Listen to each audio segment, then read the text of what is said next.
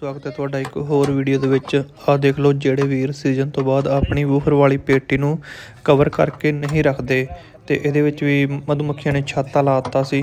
ਤੇ ਜਿਹਦੇ ਕਾਰਨ ਕੀ ਹੋਇਆ ਕਿ ਇਹਦੀ ਇੱਕ 15 ਇੰਚੀ ਵੂਫਰ ਬੇਸ ਖਰਾਬ ਹੋ ਗਈ ਹੈ।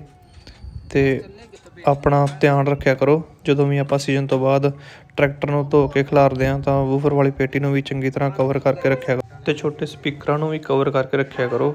ਆਹ ਦੇਖ ਲਓ, ਮਿੱਟੀ ਵਾਲੇ ਘੁਣ ਲਾਤੇ ਨੇ ਮੱਖੀਆਂ ਨੇ। ਇਹਦੇ ਨਾਲ ਇਹ ਸਪੀਕਰ ਵੀ ਖਰਾਬ ਹੋ ਗਿਆ ਸਾਰਾ। ਤੇ ਆਪਣੇ ਜਿਹੜੇ ਆ ਸਰਾਖ ਹੁੰਦੇ ਨੇ ਪੇਟੀ ਦੇ ਨਾਲ, ਇਹਨਾਂ ਨੂੰ ਵੀ ਪੂਰੀ ਤਰ੍ਹਾਂ ਬੰਦ ਰੱਖਿਆ ਕਰੋ ਕਰਕੇ ਸੀਜ਼ਨ ਤੋਂ ਬਾਅਦ, ਤਾਂ ਕਿ ਮਧੂਮੱਖੀ ਅੰਦਰ ਨਾ ਜਾ ਸਕੇ। ਤੇ ਆਹ ਦੇਖ ਲਓ, ਇੱਕ ਹੋਰ ਛੋਟਾ ਸਪੀਕਰ ਥੱਲੇ ਵਾਲਾ, ਇਹਦੇ ਵਿੱਚ ਵੀ ਮੱਖੀਆਂ ਨੇ ਮਿੱਟੀ ਦੇ ਘਰ ਬਣਾਏ ਹੋਏ ਹਨ।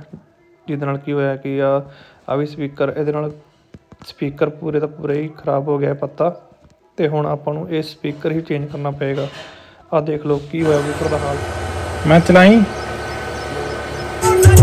ਚੱਲ ਪਈ ਹੈ ਪਾਰਟੀ ਆ।